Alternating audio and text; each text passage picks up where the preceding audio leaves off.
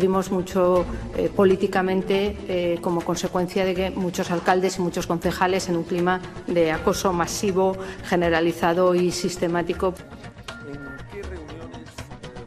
Soraya Saez de Santa Maria avala les tesis de rebel·lió de la Fiscalia i Vox. L'exvicepresidenta espanyola parla de violència i assetjament sistemàtic i generalitzat. També defensa l'actuació i la professionalitat de la Policia Nacional i la Guàrdia Civil l'1 d'octubre. Reconeix que va mantenir reunions amb el govern català, però que es va negar a parlar del referèndum. Artur Mas, per la seva banda, diu que sempre es va voler pactar el referèndum i també ha dit que va advertir Carles Puigdemont. El consejo fue que nunca se pierda esa capacidad propia de iniciativa institucional, que quiere decir de convocar elecciones en Cataluña, porque eso siempre permite tener una fotografía de lo que está pasando en el cuerpo social y electoral, y en cambio ahí tienes la seguridad de que estás en un marco legal que no se puede, eh, que no se puede eh, alterar.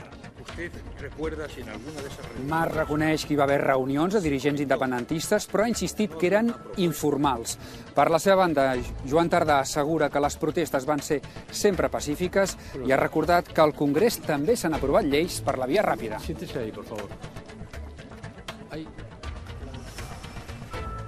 Sandro Rossell afrontarà en llibertat condicional el que queda del judici per blanqueig de capitals. Dos acusados que se encontraban en prisión ha sido decretada su libertad provisional por esta causa. L'Audiència Nacional ho ha acordat un cop complerts dos anys de presó provisional i quan l'expresident del Barça ja ha testificat. També s'ha dictat llibertat pel soci de Rossell, Joan Basolí. La segona reunió entre Donald Trump i Kim Jong-un a Hanoi comença amb declaracions optimistes per part de tots dos. Trump es declara disposat a ajudar Corea a desenvolupar el seu potencial econòmic. Kim vaticina un bon resultat per a la cimera. En el marc del Saló del Mòbil assistirem a la primera operació amb assistència de tecnologia 5G. També els expliquem que el de Bellvitge és el primer hospital d'Espanya i un dels primers d'Europa a posar en marxa un programa d'implan- d'implantació de pròtesis de penis que permet al pacient tornar a casa el mateix dia. Barça i Madrid buscaran aquest vespre el pas a la final de la Copa del Rei en directe per TV3. Els blaugranes estan obligats a marcar el Bernabéu després de l'empat a un de l'anada. Valverde sortirà amb tot per intentar plantar-se a la primera final de la temporada. Últims dies de febrer amb temperatures més pròpies del mes d'abril. Preguntarem a Gemma Puig de quina manera contribueixen a l'acumulació de contaminants a l'aire. I és que en una vintena de ciutats de l'Estat, entre les quals Barcelona, s'han superat els límits.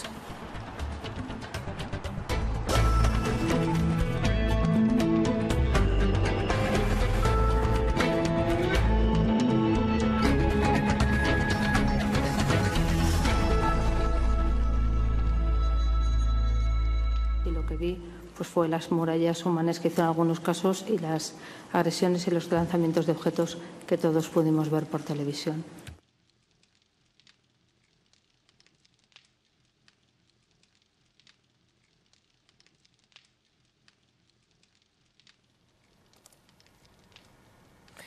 Bona tarda. Sentíem Soraya Sáenz de Santa Maria, la vicepresidenta, ex-vicepresidenta del govern espanyol, que ha avalat les tesis de l'acusació. Diu que el 20 de novembre, el 20 de setembre, volem dir, va haver agressions. Ha parlat obertament de violència i també ha defensat l'actuació de la policia i la Guàrdia Civil l'1 d'octubre, tot i que ha rebaixat ostensiblement el nombre d'agents ferits. Ha estat un dels testimonis destacats del matí, avui que ha començat una nova fase del judici del procés. Després de sentir els acusats hem pogut començar a sentir els testimonis, una llarga llista de 500 persones han de passar per aquí les pròximes setmanes. Els primers a fer-ho són polítics, com sentíem, Marta Viladot, Sáenz de Santa Maria, no ha volgut parlar de càrregues policials.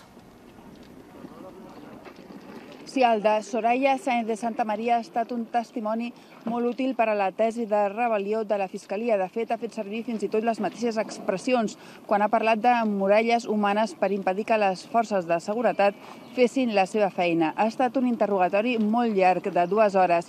Tot just ara, Soraya Sáenz de Santa Maria marxa d'aquest tribunal i, de fet, el ministre, l'exministre d'Hisenda, Cristóbal Montoro, ha hagut de passar el seu testimoni a la tarda. Com dèiem, un testimoni que la Fiscalia volia fer servir, però s'ha trobat amb que les defenses han estat molt dures també en el contraatac. Uns advocats de la defensa que han posat a Soraya Sáenz de Santa Maria més d'una vegada contra les cordes i han fet que quedés en evidència amb alguna pregunta. Després de la moció de censura contra Mariano Rajoy i l'elecció de Pablo Casado com a nou líder del PP, Soraya Sáenz de Santa Maria ha tornat avui a la primera línia política. En la tercera setmana del judici, ella ha estat entre els testimonis que han declarat davant del tribunal la primera veu acusatòria contra els processats. Per l'exvicepresidenta sí que hi va haver violència. Creo que todo el mundo vio esas imágenes violentas. A nosotros, como gobierno, pues nos informaba el ministro de Interior y el delegado del gobierno de lo que se iba produciendo. Se impide que los eh, de, detenidos formen parte o estén en ese registro y, sobre todo, se les impide eh, salir con las imágenes que vimos, pues lo así lo considero como violento. Sí, prácticamente eh, nos, nos, encontramos en general con imágenes en la opinión pública en que cualquier actuación eh, judicial que se llevaba a cabo, registros de, en domicilios, en naves, en detenciones, pues eh, se producían aglomeraciones en algunos casos con imágenes de naturaleza violenta. La violència també ha estat en el interrogatori que li ha fet Junqueras. ¿Vio las imágenes por televisión? Sí, desde mi despacho en Moncloa. ¿Vio algún policía pegar a algún ciudadano? Mire, yo he visto a lo largo no solo de, de mi vida política, eh, sino eh, como cualquier otro ciudadano, imágenes eh, en relación o que se producen como consecuencia de disturbios. No son agradables a la vista, pero creo que si no se hubiera convocado a la gente, se la hubiera llamado masivamente para actuar eh, como, como, murallas e impedir eh, a quienes estaban mandatados judicialmente a impedir ese referéndum, pues a lo mejor alguna de las imágenes que habíamos visto no se había producido. ¿Creía que los votantes del 1 de octubre se iban a enfrentar el 1 de octubre con esos acometimientos de, para no llamarlo cargas, de la policía?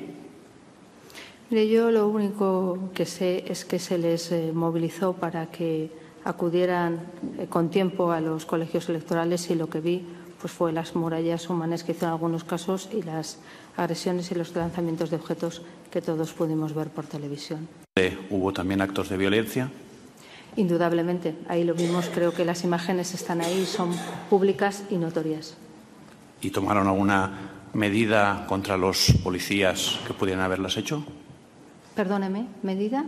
Sí, es decir, eh, supongo que pudo ver si algún policía agredía a algún ciudadano en octubre por la televisión. En primer lugar, yo le, me gustaría recordar que la actuación de las distintas fuerzas y cuerpos de seguridad del Estado lo fue en ejecución de una decisión judicial.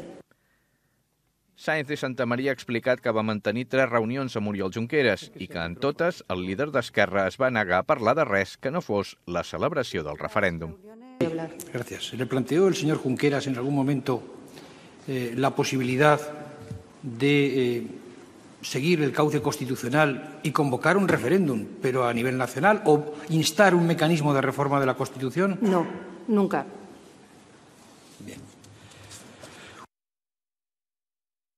Tiene un conocimiento de referencia del contenido de ese informe de inteligencia, que es un informe de la Comisaría General de Información lo del día vi, 28 lo, de septiembre. Como Pero, digo, permítame, señora, sí, no he terminado de formular que le la formule la pregunta y Sí, a continuación usted aborda la Sí, respuesta. perdóneme, gracias. No, no, es usted muy amable. La pregunta es si tiene usted conocimiento, percepción directa de dicho documento y de los No. riesgos que en él se advertían. Lo, lo- lo vi después eh, publicado. O sea, sí lo leyó.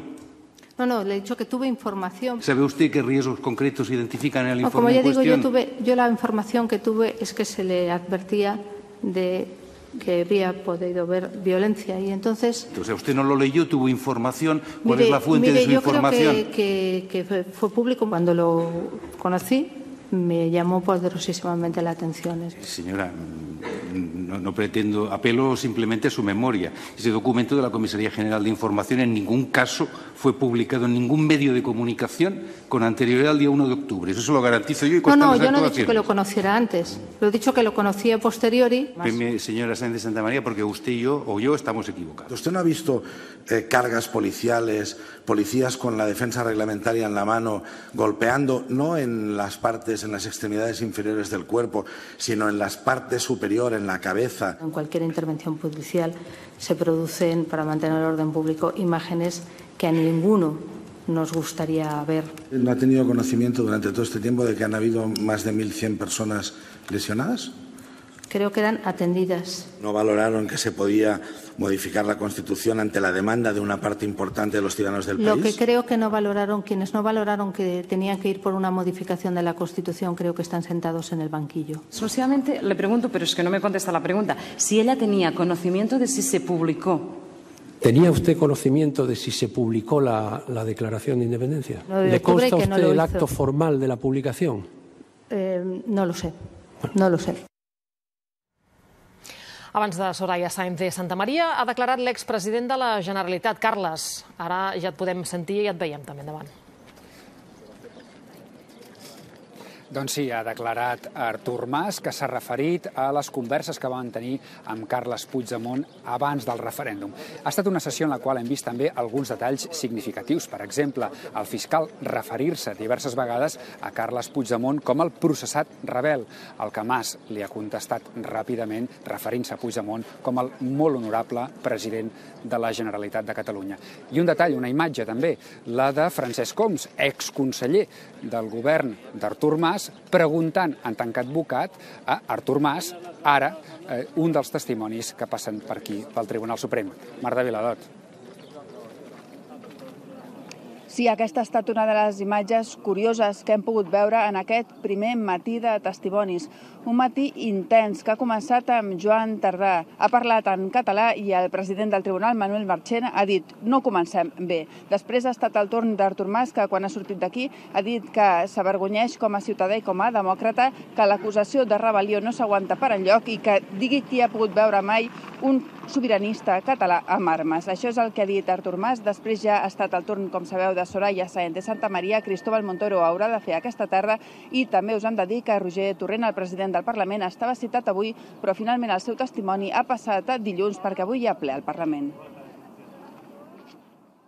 Mas ha explicat que va participar en algunes reunions durant el 2016 en què es valorava la celebració del referèndum. L'expresident ha dit que va expressar les seves opinions i que va aconsellar no perdre la capacitat de convocar eleccions. Que nunca se pierda esa capacidad propia de iniciativa institucional, que quiere decir de convocar elecciones en Cataluña, porque eso siempre permite tener una fotografía de lo que está pasando en el cuerpo social y electoral, y en cambio ahí tienes la seguridad de que